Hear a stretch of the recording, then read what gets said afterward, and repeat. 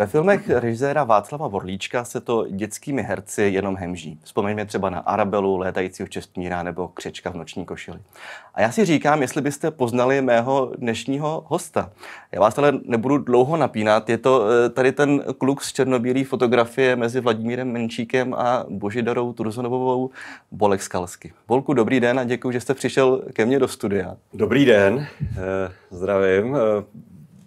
Eh, je to černobílá fotografie, ale film už byl barevný, přestože teda... Je to tak, je to tak, ale já se přiznám, že jsem barevnou fotku, kde by se vám bylo vidět dobře do obličeje, eh, nenašel.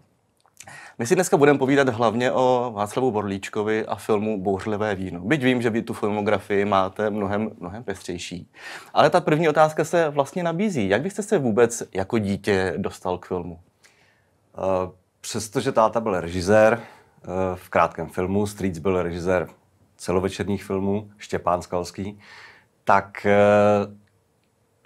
to nebyl on, kdo mě dostal k filmu, ale byla to náhoda. Byla to Anička Kohutová, která mě potkala s mámou, když jsem byl v mlíkárně, když mi bylo asi 4,5 roku a pozvala mě na, kon, na konkurs. No a tím to vzniklo. A táta doma potom křičel, že už nechce žádného dalšího filmaře doma. Takže takhle zhruba ve zkratce.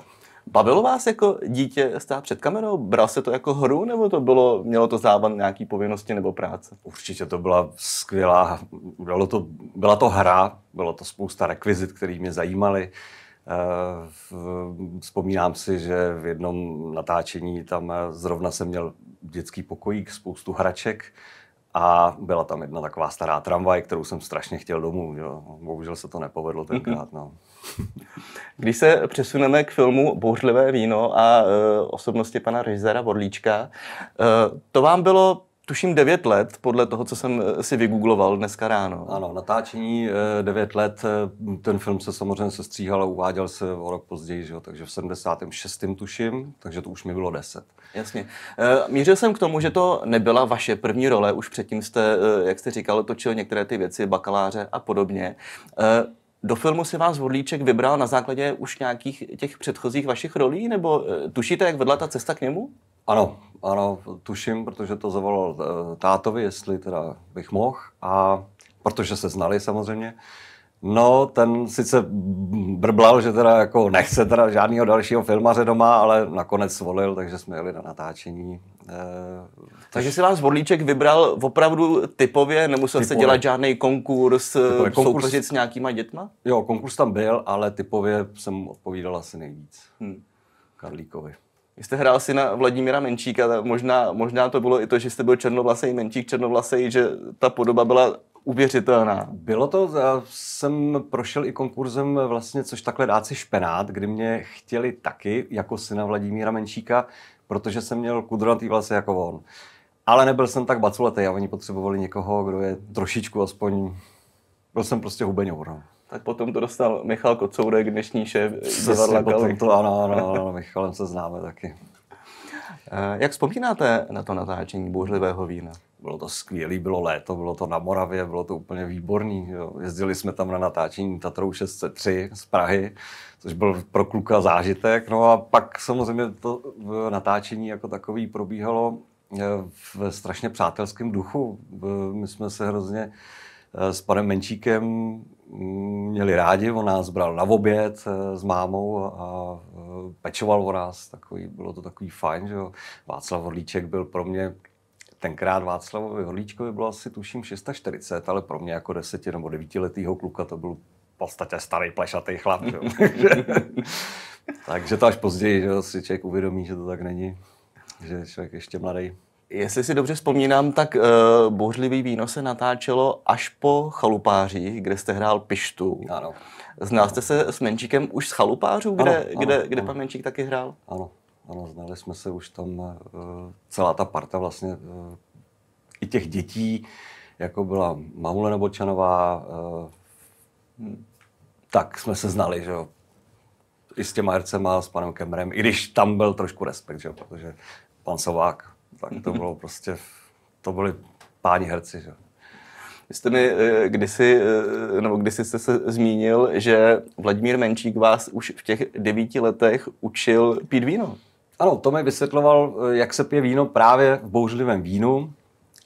kdy mi říkal, potom se to použilo v tom filmu, že nejdříve si k vínu přičichneme, podíváme se na jiskru, zamícháme s tím a pak se teprve napijeme a potom si o vínu povídáme, ne, že to vychlastáme.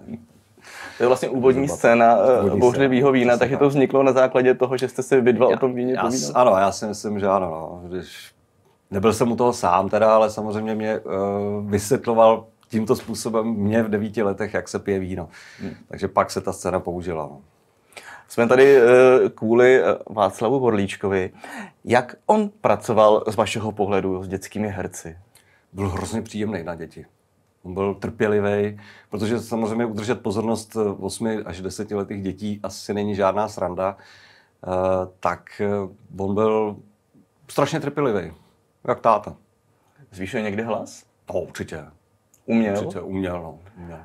Protože mnoho jeho kolegů, herců na něj vzpomíná jako hrozného kliděse. To jo, to jo, ale dokázal si sjednat i ten respekt zvýšením hmm. hlasu, ale myslím si, že Eh, to nepoužíval často, aspoň na to nespomínám, že by jsem ho někdy slyšel tak, že bych prostě se lek třeba. Hmm. Znal jste eh, jako dítě ty jeho předchozí filmy typu Tři oříšky pro popelku, Určitě. Dívka miloval, na koštěti? No jasně, to, to, na, na těch jsme v podstatě vyrůstali. A a já jsem se dokonce eh, potom dozvěděl v roce někdy 2010, že chystá Zlatovlásku. Já jsem hrál ve Zlatovlásce, mm-hmm. měl jsem tam kuchtíka. Tak mě to zajímalo jen tak z profesního hlediska, nebo bývalého profesního hlediska, jak by to asi tak dopadlo. Škoda, že to nedopadlo, že už se na to nestihlo. Eh, myslím, že tam byl i finanční nějaký problém, mm. že pan Vodlíček na to nesehnal peníze a pak bohužel zemřel. No. Mm.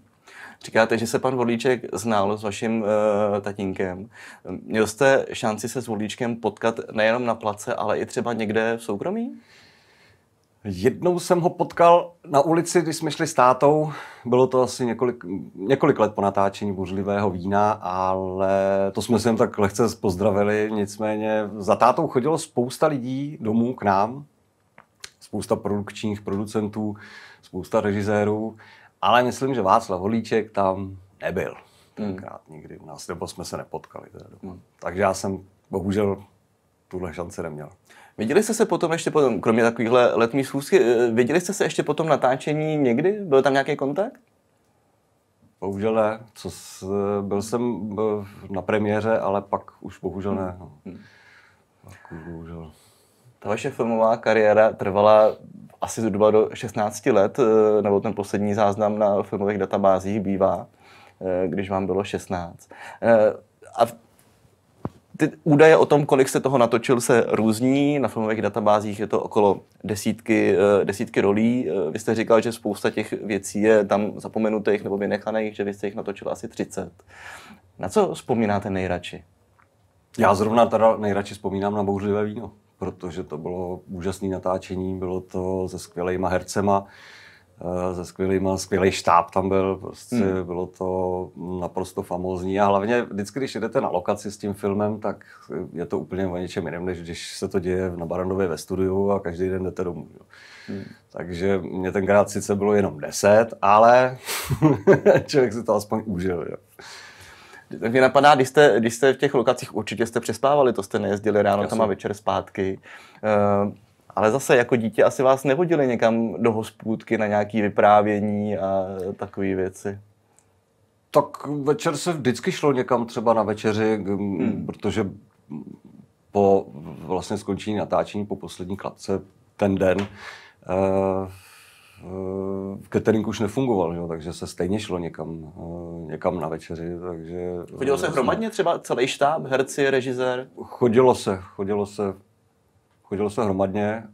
A chodil právě i Vodlíček? Eh, družil on se s herci nebo si držel nějaký odstup? Ne, ne, já si myslím, že určitě chodil. Tenkrát, co se vzpomínám, je to téměř 40 dlouho. let, že jo? Je to 38 let, tak co se vzpomínám, tak eh, si myslím, že chodil s ostatními, že chodil, hmm. že byl normálně družný a přátelský. Hmm.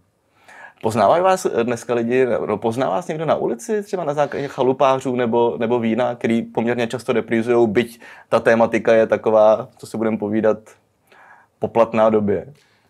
A dneska už, eh, ještě tak před 10-15 lety ano, ale dneska už ne. Člověk jak přišel o vlasy, tak to dělá hodně.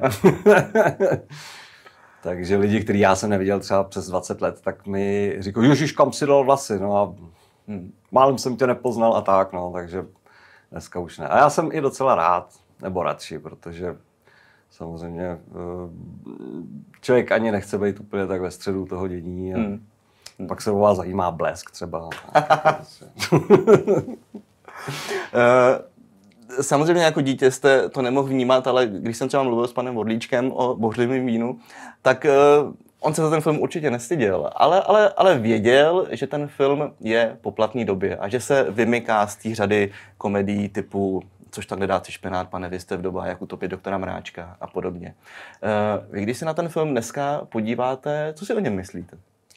byly skvělý filmy, stejně jako dneska, když někdo odsuzuje 30 případů Majora Zemana, tak mi to přijde úplná blbost, hmm. že kdybyste natočil uh, film, který mm, by byl, já nevím, zapojený do uh, západního světa, tak by to prostě neprošlo přes uh, ústřední výbor hmm. komunistické strany. Všechny ty filmy šly prostě přes UVKSČ. Takže navíc ještě v tomhle filmu se jakoby volně jezdilo do Vídně, že jo? Hmm.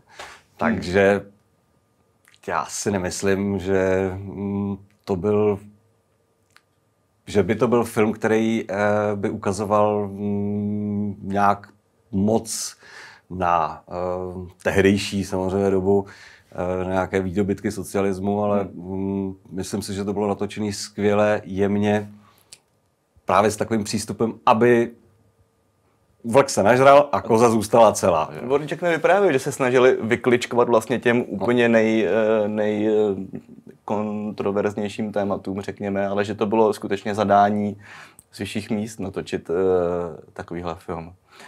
Uh, a když pomineme bořivý víno, vrátím se k té otázce, na kterou z těch svých rolí vzpomínáte. Která je nějaká výraznější, která se vám zapsala? No kromě bouřlivého vína, tak samozřejmě chalupářů, hmm. Eh, eh, to bylo dlouhé natáčení. No, ale z těch prvních filmů eh, to bylo, jak už jsem říkal, romance pro devět dlouhých let, hmm.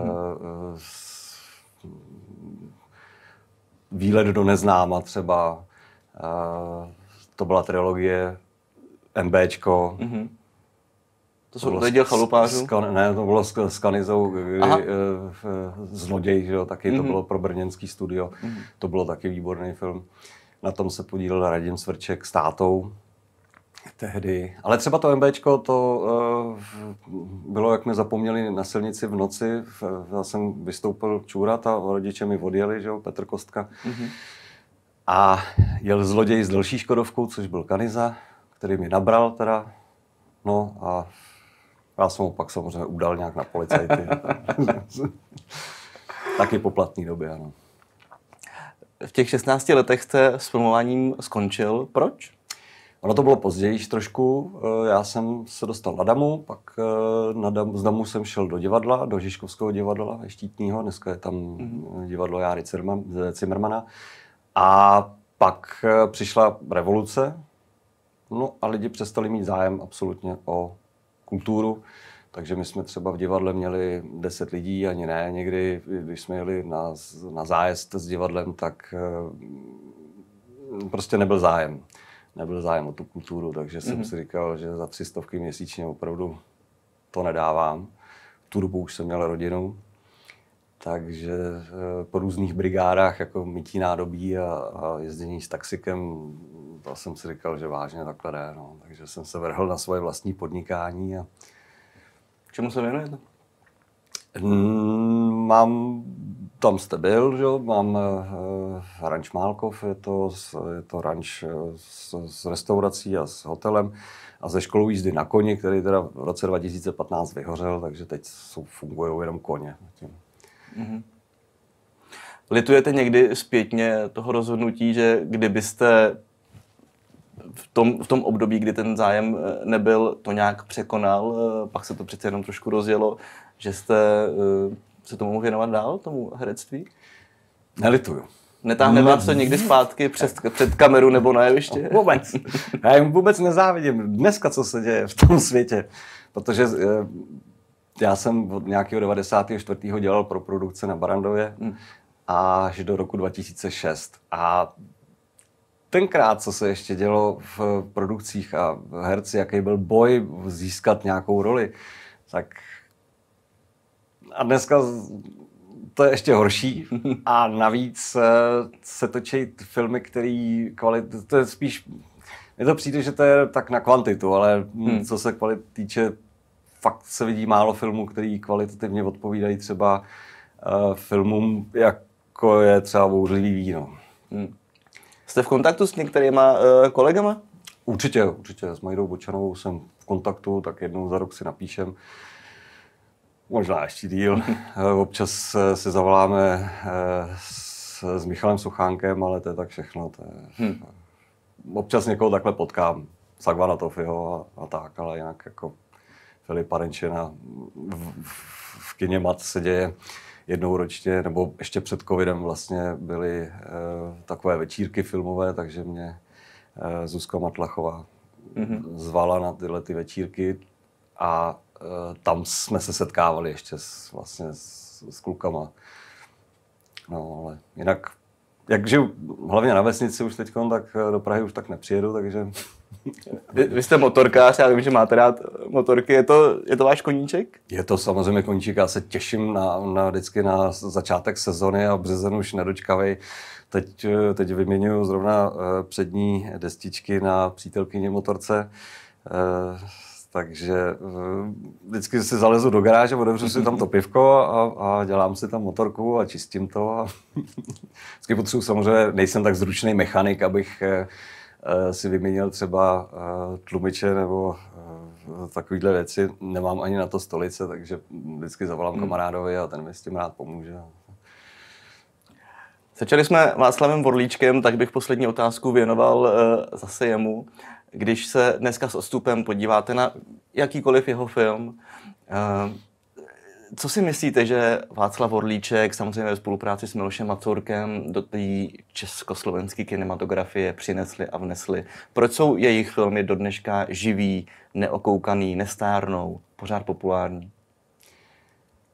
Ty filmy mají takového zvláštního, krásného ducha. Eh, když jste třeba zmínil Tři hoříšky pro popelku, tak eh, to jsou filmy, které eh, nejsou, eh, tamto herectví všech těch eh, zúčastněných herců je takový trošku, když se koukáte na dobrý americký filmy, tak je to hodně podobný. Prostě herec se neotočí a teď nutně nemusí něco eh, zdůrazňovat a říkat to tedy tímto stylem. Prostě tam to plyne tak hezky na takový několika linkách. Oni nehrajou. A oni, oni nehrajou, přesně, oni jsou přirozený.